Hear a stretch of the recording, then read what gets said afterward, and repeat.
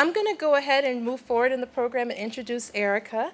Um, Erika has a very special place in my heart because she um, is also our fabulous, wonderful graduate assistant who works in the Office of uh, Admissions. And she's, you know, she's so good that we almost sometimes forget that she's a student. um, um, but Erika is going to be delivering the um, keynote address this evening. Uh, Erika Carlsen is currently pursuing a Master of Divinity with a focus on Buddhism and leadership here at Harvard Divinity School. She was born and raised in Ogden, Utah, and graduated summa cum laude from the University of San Francisco with a BA in politics. She was awarded the Dean's Medal for Excellence in the Arts and was a finalist for valedictorian of her university class. She has held several public policy fellowships, including the Institute for International Public Policy and the Coro Fellows Program in Public Affairs. She is the author of Rape and War in the Democratic Republic of Congo, one of the most downloaded articles in Peace Review, a journal of social justice. Prior to arriving at Harvard, she worked with Rockwood Leadership Institute, the nation's largest leadership training organization for social change leaders. She also served on the board of directors of the San Francisco LGBT Community Center, she is the co-founder of Arriba Latinas, the first and only mentorship organization specifically for Latina youth in Utah. While at Harvard, Erika serves as the president of the university-wide Harvard Latino Latina Student Alliance and as co-chair for the Harvard Graduate School Leadership Institute. She's definitely a very busy woman. Uh, upon graduation, she hopes to pursue a career in leadership development and talent management. Her interests outside of school include spending time with family and friends, biking, and hanging out with cute animals. um, and again, the title of her, of her talk today is Saying Yes. And so I'm very interested in hearing from Erika, as I'm sure you all are as well. So I'll hand it over to Erika.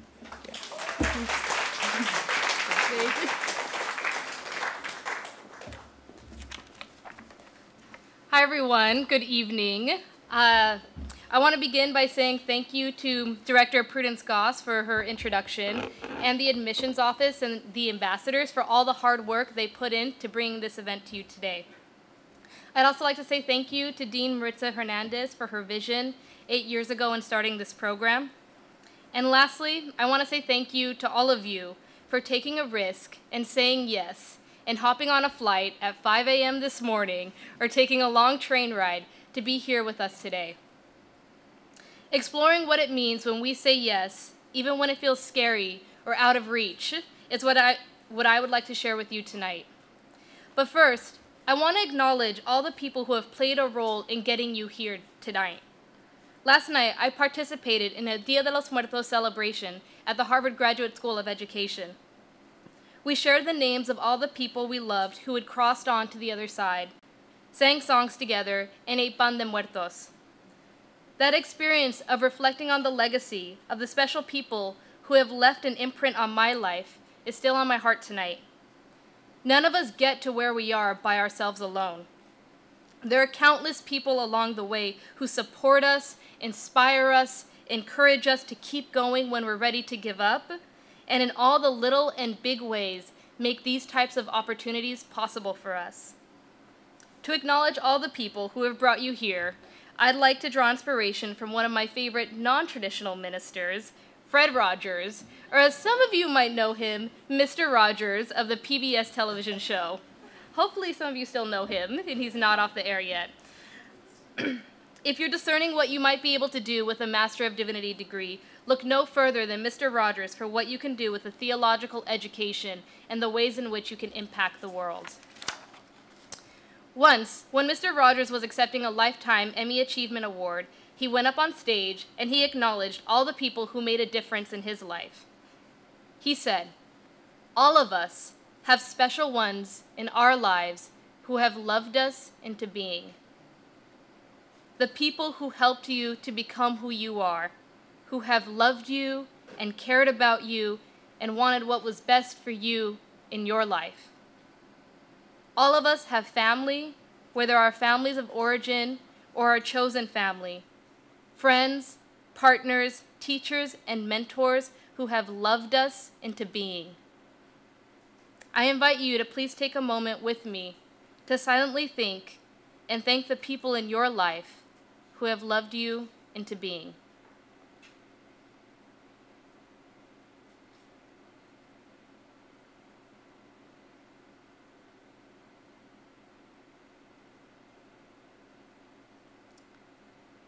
Whether they're on your heart or you said their name in your head right now, they're here with you tonight. Thank you for taking the time to acknowledge the people who have shaped you and made a difference in your life. It's important that we remember the people who have loved us into being and supported us when we said yes to some of life's scariest moments, like going off to college, studying abroad, taking that job opportunity when we weren't sure if it was going to be a good fit, or even applying and getting accepted to the Diversity and Explorations program at Harvard Divinity School. I was chatting with a few of you earlier today, and I can't believe that three years ago, I was sitting in your exact seat. I had caught an overnight flight from San Francisco to Boston. I had a quick nap, which I'm so grateful that I had, and then all the activities began. I remember feeling scared and frankly a little overwhelmed by it all. I also remember being so intimidated. I mean, I was at Harvard. Harvard, a place that I never thought I would be, a place that felt so far away from my family and my community. And yet, three years later, here I am, with the extraordinary opportunity to be here with you today and to share a bit about my journey and the moments where I decided to say yes, and to encourage you to do the same. To say yes to pursuing a graduate theological education, and to consider saying yes to a place like Harvard, even when it feels so scary. Many of you are here today because someone, or many someones, said yes to helping you grow and develop. My story is no different. I was born and raised in Ogden, Utah. Since my parents worked full time, it was mostly my grandparents who raised my brother and I. My grandparents, or as I'll call them, mis abuelitos, were undocumented Mexican migrant farm workers who came to the U.S. in search of opportunity. Mi abuelito had a sixth grade education, and mi abuelita cannot read or write in either Spanish or English. And while some might say that they are uneducated because they lacked a formal education, I would say that they are some of the wisest people I know.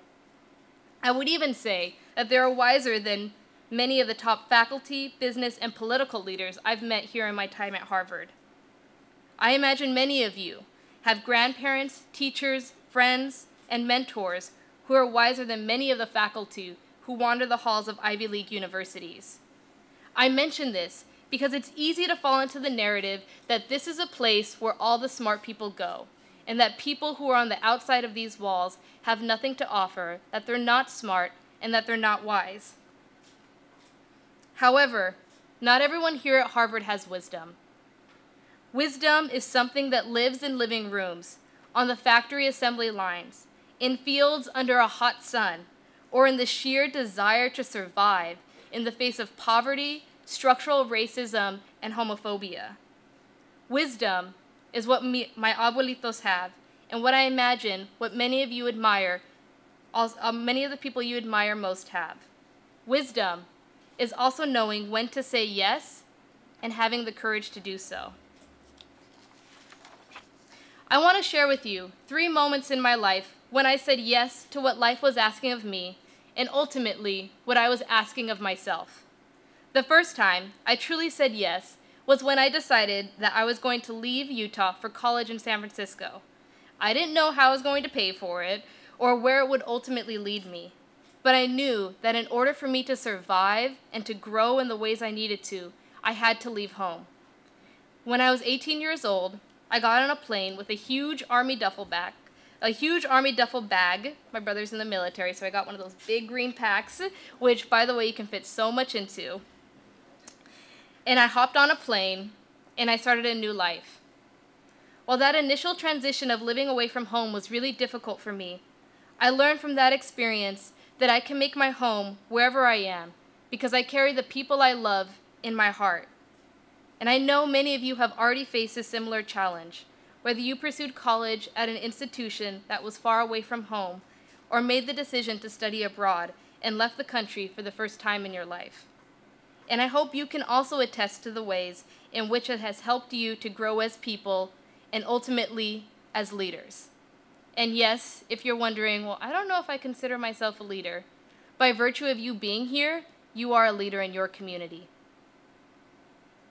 The second time I said yes, even when I was afraid, was when I made the decision to be authentically who I was and to come out to my family. I had been out to my friends since I was 12 and dated several people throughout high school, but all of this was kept a secret from my family. It wasn't until I was halfway through my first year of college at the University of San Francisco that I made the decision to come out to my parents. Now, I come from kind of a conservative family in Utah, so I grew up shooting lots of guns, eating mostly hunted meat, and many of my members of and many members of my family had served in the military, including my brother and my dad. My mom frequently made homophobic remarks, and after hearing these remarks while I was in the closet, I was terrified she would stop helping me pay for college and disown me. I'll never forget the day I called her while she was at work, and I told her I wanted to talk to her after she got off of work.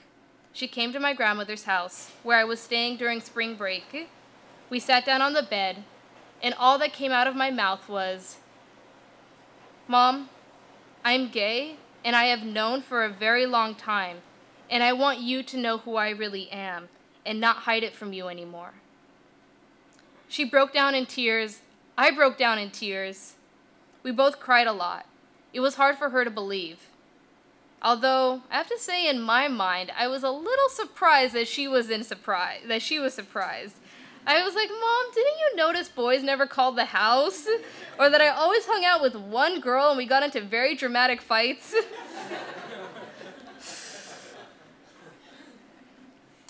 Even though she was in denial in that moment, she said to me, Erika, I love you, and you will always be my daughter, no matter what. For me, that was a moment that made coming out worth it. I was terrified to say yes to who I really was and to share that person openly with my mom. I am so grateful that she has learned how to love and support me through it all. Whereas before she would make homophobic comments, now she says things like, Erika, I know that you are a member of the LGBT community with the care that she puts in to make sure all of the letters are there. She even has as her profile picture for a long time on Facebook a picture of a heart that said, This person supports marriage equality. What I don't think she realized was that on the side of the picture, on the side of the heart, it said, Have a gay day. what I learned most from my mom and from this experience is that to say yes to what was authentically true for me and to never underestimate someone's capacity to grow and change. Now, on to the last time I said yes. Even when I didn't know how it would all end, as you and as you might be imagining, this was a time I decided to apply to Harvard Divinity School. I had graduated from school two years earlier, was working, and I thought I wanted to pursue a career in public policy. You know, I think there's this thing that happens where if you're smart and passionate about social change, you kind of get tracked into thinking that public policy and law is the best place for you to go and to make the impact that you want to make.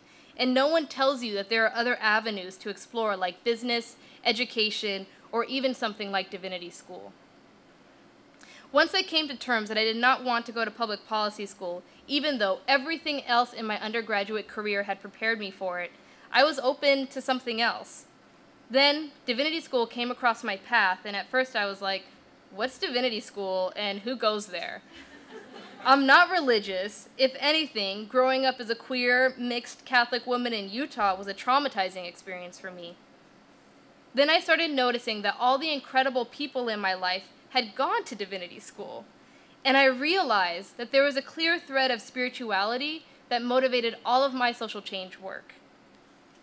I saw that all of the truly great social change leaders that I admired all had a sense of spirituality that grounded their work in a larger vision of what was possible for humanity. So, on a leap of hope, on a leap of faith and hope, I applied to the DivEx program to explore, to explore more about what Divinity School could mean for someone like me. What I found was that there were people there who looked like me at Harvard, who cared about my background and interests, and that like almost over 10 years ago, when I first hop on that, hopped on that flight headed for college in San Francisco, I could make my home again. Or like Chicana scholar Gloria Anzaldúa said, I am like a turtle.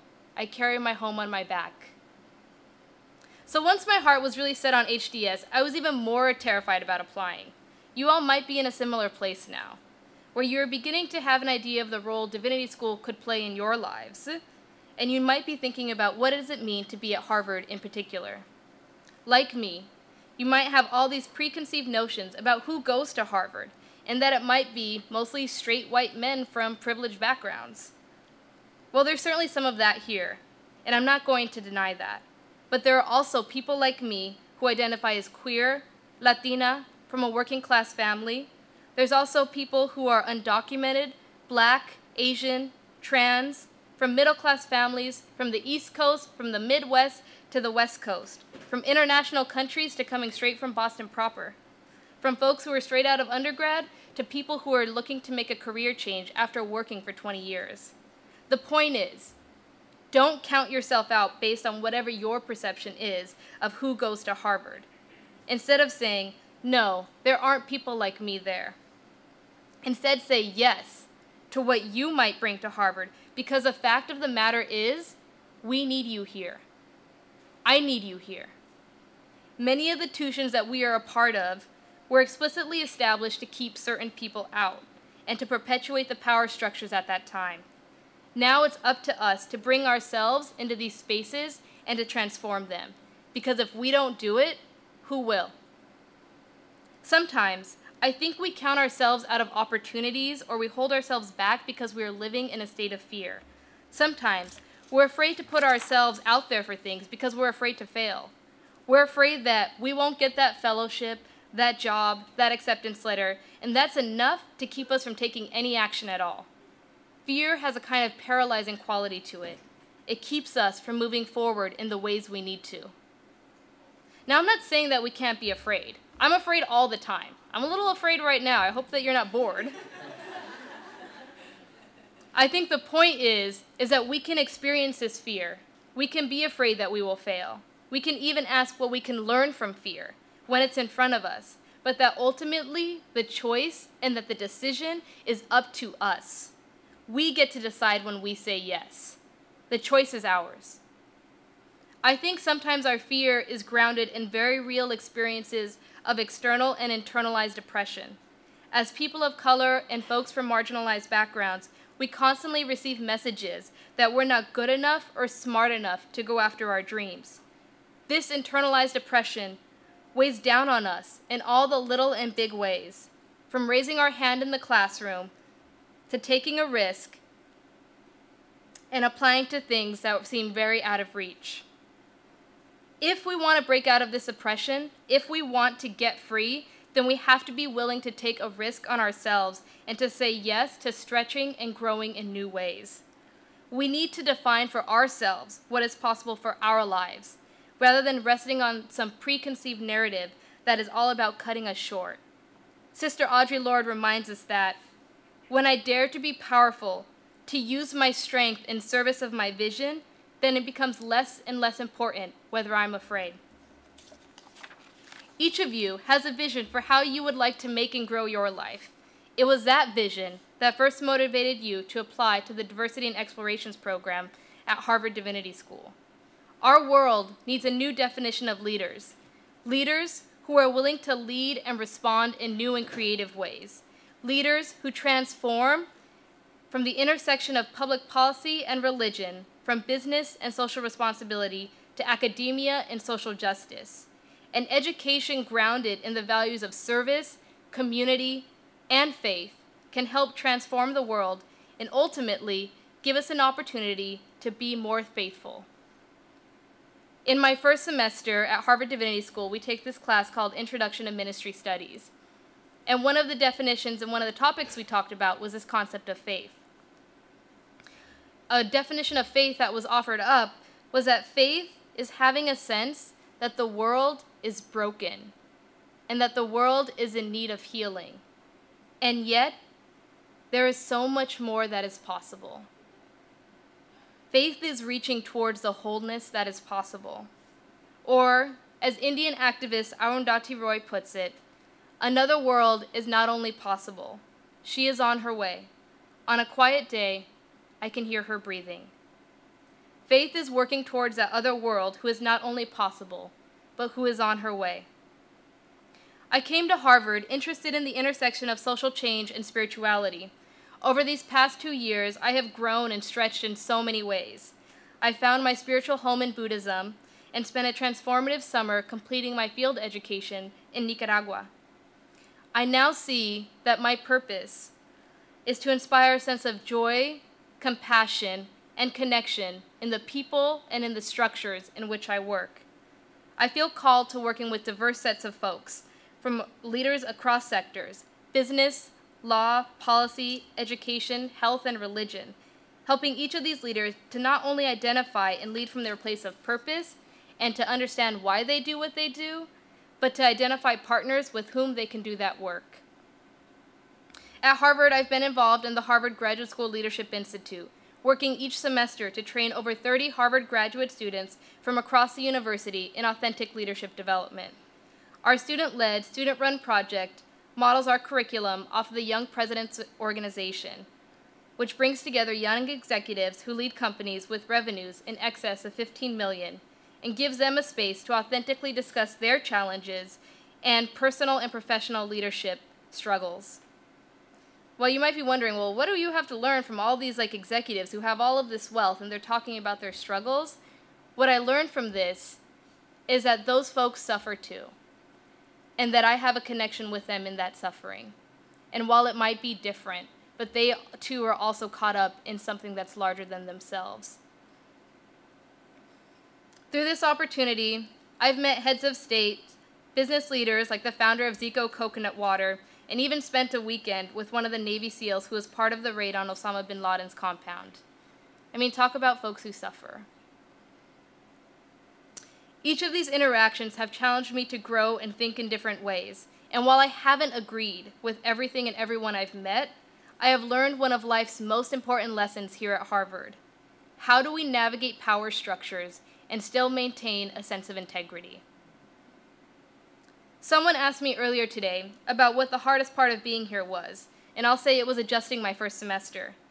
I struggled with wondering if I was smart enough to be here, if I was just kind of an affirmative action throwaway. What it meant to be at this institution when my family members remained in poverty and, and some still relying on government assistance. While Harvard is an extraordinary place because of the opportunities that are available here, it is also a difficult place to be someone from a marginalized background. I'm not going to lie and say that it isn't. But what I have learned from this experience is how to build community across interests and across identities, and how to both be part of a system and to work actively towards changing it. I can't change the system and the structures if I count myself out, if I count myself out and count others out at the get-go. I'm reminded of my fellow Buddhist sister Bell Hooks who says, For me, Forgiveness and compassion are always linked. How do we hold people accountable for wrongdoing and yet, at the same time, remain in touch with their humanity enough to believe in their capacity to be transformed? Yes, graduate school is a challenging place to be on all levels, but I remain committed to the possibility that people and institutions can change. After Harvard, I'm hoping to enter into a career in leadership development or higher ed administration. I'm passionate about developing leaders from all backgrounds and especially encouraging those of us who have been told, either explicitly or implicitly, that we are not good enough and that we should count ourselves out. I want to say to them, myself included, that yes, we in fact say yes to some of our biggest dreams. So if I can leave you with anything to remember from tonight, it is that sometimes the most revolutionary things that we can do with our lives is to answer the calls that frighten us, to take the steps that seem so far out of reach, and to know that, as Anais Nin puts it, life shrinks or expands in proportion to our courage. So say yes to you, to your dreams, whether they are moving you towards Harvard or another graduate school, to move towards hearing and working in faith for that other world that is not only possible, but is on her way. Thank you.